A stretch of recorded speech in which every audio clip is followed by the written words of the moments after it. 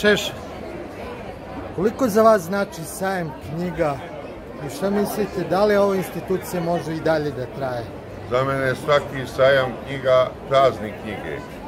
I kad god nisam bio u zatvoru proteklih 45 godina, ja sam svake godine bio na sajmu knjiga i to svaki dan dolazio.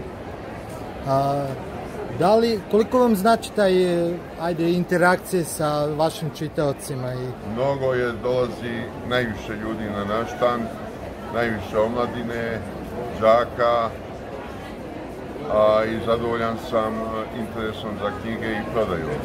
Koje knjige najviše se traže? Najviše ovog puta tražena moja knjiga U Srebrenici nije bilo genocida. Upravo sam je kompletirao neprekidno sajam u tri toma i došla na 3360 strana. Šta mislite zbog čega je zbog kad je, evo naši mediji srpski konstantno bojkotuju tu temu Srebrenice? E pa narod je zainteresovan i narod ima poverenja u moje naučne iskaze, jer su svi do kraja provereni, zasnovani na činjenicama. A koja je glavna teza te knjige? Desio se zločin, ratni zločin streljanja zarobljenika, ali genocida nije bilo. I na kraju, je li ima neka knjiga koju ste videli na sajmu koju biste toplo preporučili? Nažalost, ja nisam obilazio druge štandove, moji sinovi Aleksandar i Vladimir su obilazili druge štandove i oni mi ovako pomažu da ja za sebe kupim neka nova izdanja koja me interesuju. Pitam vas zato što imam tu kao rubriku, evo, poznate lično se preporučuju neku knjigu, pa zbog toga. Ili, mislite... Ja mogu da preporučim svoju knjigu U Srebrenici nije bilo genocida. Više, hvala vam. Molim.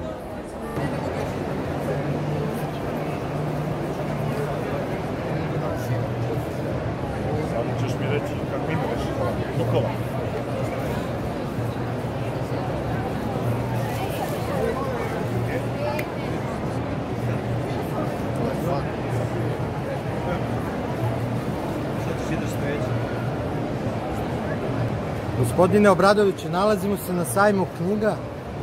Koliko za vas znači sajam knjiga?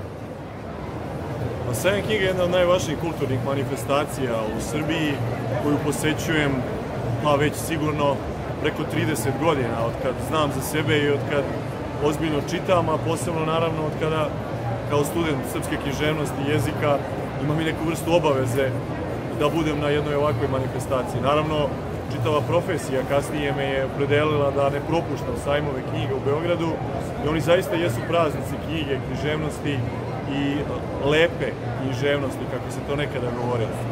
I mislim da zaista bez sajma knjiga naša kulturna scena bi bila mnogo siromašnija i da je ovo jedan događaj koji ne treba propustiti, ne samo što ovde možete da vidite sve novo što se pojavilo u svetu izdavaštva u Srbiji, već što ovde možete da sretnete ljude za kojima bi vam trebalo mnogo vremena da ih obiđete i sretnete u običnom životu. Dakle, svako ko bilo šta znači u svetu književnosti kulture, a i mnogo šira populacija koja voli lepu knjigu, dolazi na sajam knjige. To je jedna izuzetna prilika za veliki broj značajnih susreta, druženja i mislim da prosto jednu ovakvu manifestaciju apsolutno nikada ne treba propustiti. Evo ovdje ste i kao pisac, potpisujete svoju knjigu Gde bežite. A ko beži od vas to?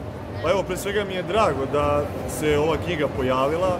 Ovo je inače moja peta knjiga i meni posebno bitna i draga zato što je u pitanju jedna zbirka skupštinskih govora od 2016. do 2018. godine koje sam dakle izgovorio u Narodnoj skupštini Republike Srbije i tek kad vidite te govore ovako sabrane u jednu knjigu, ovako lepo opremljene i povezane, onda vidite da ima smisla sve to što ste radili i na neki način vidite plodove svoga rada za te dve i po godine koliko sam bio aktivan e, narodni poslanik. E, naravno, e, knjiga je sabrala one najznačajnije govore iz Skupštinskog plenuma, govore o izboru vlade Aleksandra Vučića, o izboru vlade Ane Brnabić, o izboru Siniše Malog za ministra, o nizu najvažnijih tema koji su bile na dnevnom redu od ustavnih pitanja, stanja u privredi poljoprivredi, pravosuđu, prosveti, i nekoliko poznatih govora sa drugih skupštinskih odbora i na neke druge važne teme.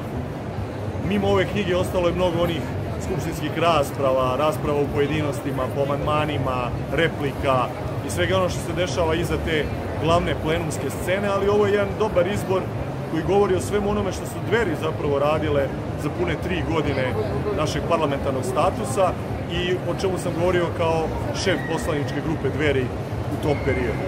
I posebno bi se zahvalio izdavaču Pirotskoj poznatoj izdavačkoj kući i štampariji Pi Press, koja je, dakle, e, zaista mi učinila čast da budem izdavač među mnogim njihovim renomiranim izdanjima i da evo ovde na njihovom štandu na sajmu knjiga imam priliku da potpisujem knjige čitaocima i zainteresovanoj javnosti.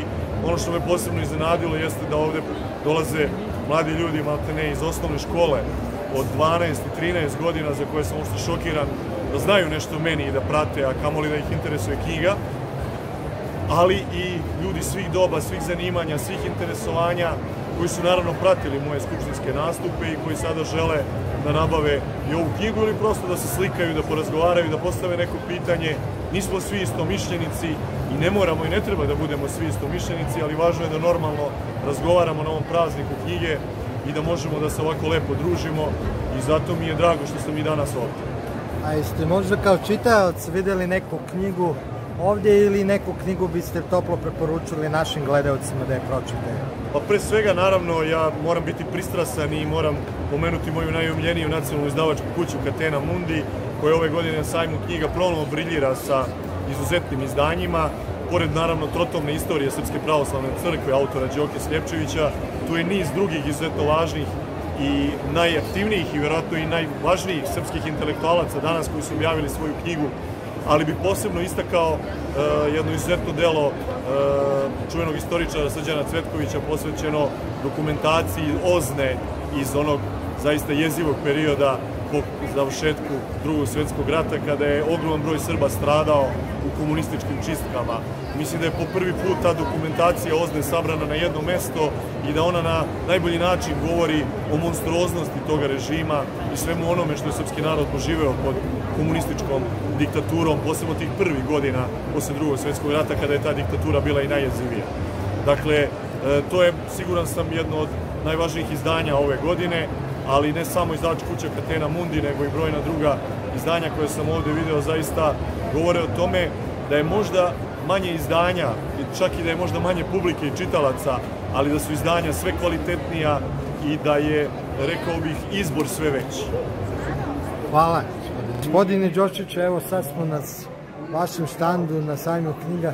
Šta imate novo da ponudite posetiocima štanda? Ove godine mi smo izdali jednu knjigu pred desetak dana koja se zove Moj put uz Balkanske ratove i Prvi svetski rat. To je svedočenje Radovana Radovanovića, kraljevskog oficira, kraljevog oficira koji je prošao sve ratove od 1912. Balkanske pa do 1919. vojno prvi svetski rat. On je uspeo, kako reče profesor Mile Bjelajac koji je bio na promociji naše knjige, odnosno na predstavljanju knjige zajedno sa profesorom Milojem Pršićem, neki dan u ovoj uh, sali Dobrica Jerić, uh, kaže, uspeo je i da se oženi. Ovaj, ali on je, interesantna stvar je da je prešao kompletan put, došao da, do daljnjeg Vladivostoka, došao je do Singapura vratio se na Solunski front. Vratio se na Solunski, front, a kako je bilo raspoloženje tih boraca, možete pročitati na 46. strani koji gde kaže ovako.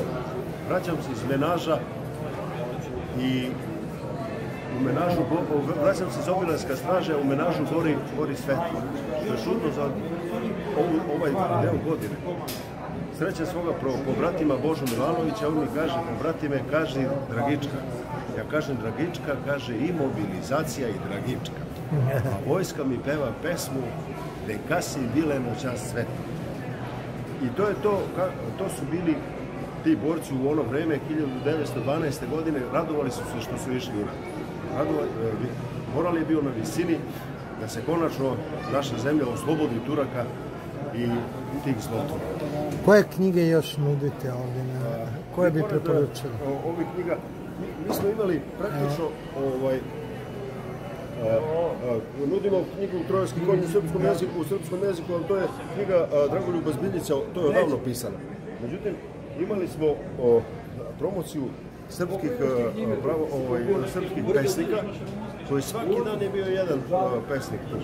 Od ovog Drago, Dragoljuba, ovaj, kako se zove, Vladimira Radovanovića iz Čačka, pa Nataša Radulović, pa je danas bio Vladim, Vladimir Petrović, pa je juče bio Dušan Genc. Znači svaki dan je bio neki naš ovaj neki naš pisac.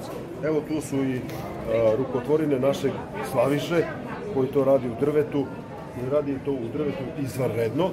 Evo jedna knjiga i ručni rad. Evo knjiga takođe našeg Dušana Krstića, pogledajte, isto u drvetu, prekrasna, proglašena za jednu, jednu od najboljih knjiga.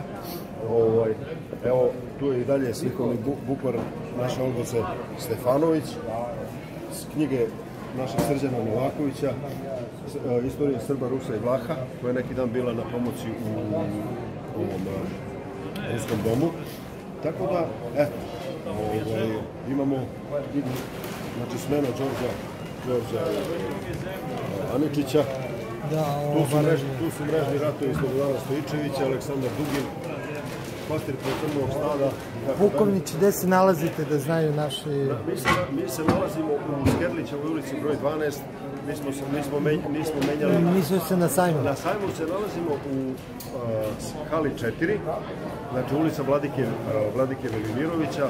Slobodno pitajte ove naše čuvare, security, koji znaju, samo neka pitaju Srpski kulturni centar Ćirilica Beba. Hvala. Izvini, nemam prostora više.